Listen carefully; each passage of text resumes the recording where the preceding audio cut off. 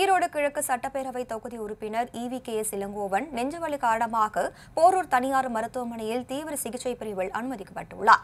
முன்னாள் மத்திய அமைச்சர் இவி கே எஸ் இளங்கோவனின் மகன் திருமகன் ஈவேரா ஈரோடு கிழக்கு சட்டப்பேரவை தொகுதி எம்எல்ஏவாக இருந்து வந்த நிலையில் உடல்நலக்குறைவு காரணமாக கடந்த சில மாதங்களுக்கு முன்பு மரணமடைந்தார். இந்நிலையில் கடந்த மாதம் நடந்த ஈரோடு கிழக்கு சட்டப்பேரவை தொகுதி இடைத்தேர்தலில் E V K S Elangovan Congress கட்சியின் வேட்பாளராக அறிவிக்கப்பட்டு தேர்தலில் வெற்றி பெற்று கடந்த சில நாட்கள் நாட்களுக்கு முன்பு எம்எல்ஏவாக பதவியேற்றுக் கொண்டார். இந்த சூழலில் இவி கே சிலங்கோவனுக்கு திடீரென மூச்சு திணறலுடன் நெஞ்சுவலியும் ஏற்பட்டதாக கூறப்படுகிறது. இதையடுத்து அவரது குடும்பத்தினர் அவரை போரூரில் உள்ள தனியார் மருத்துவமனையில் சிகிச்சைக்காக அனுமதித்தனர். அங்கு தீவிர சிகிச்சை பிரிவில் அனுமதிக்கப்பட்ட இவி கே எஸ் இளங்கோவனுக்கு இதயம் மற்றும் மூச்சு திணறல் சம்பந்தமான சிகிச்சையை மருத்துவர்கள் அளித்து வருவதாக கூறப்படுகிறது.